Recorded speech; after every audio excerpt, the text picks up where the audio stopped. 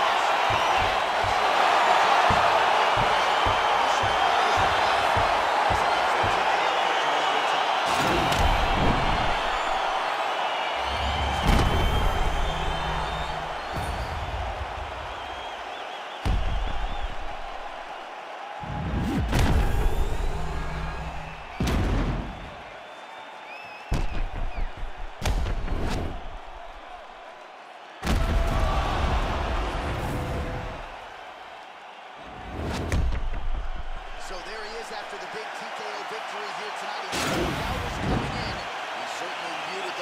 here tonight. Ladies and gentlemen, referee Dan Miragliotta has called a stop to this contest at 3 minutes, 57 seconds of the very first round, declaring the winner by TKO!